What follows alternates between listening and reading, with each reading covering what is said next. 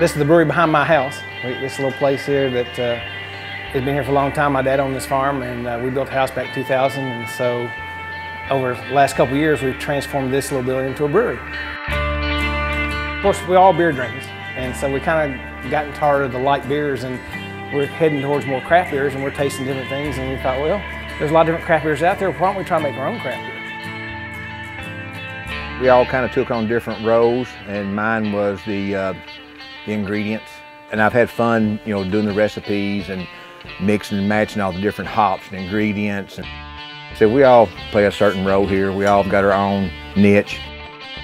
Started out as a welder by trade, fabricator, so we kind of went around, looked at some places and kind of took what they had, modified it, tweaked it to where it would uh, work for us.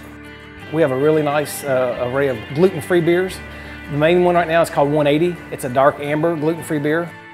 Have a celiac disease diagnosis, so I'm kind of the reason why we're in the gluten-free beer market.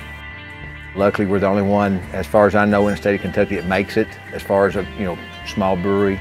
They get a little mad at me sometimes because I'm never satisfied. Even with this 180, I'm always trying to make it better. I want it the best we can make it.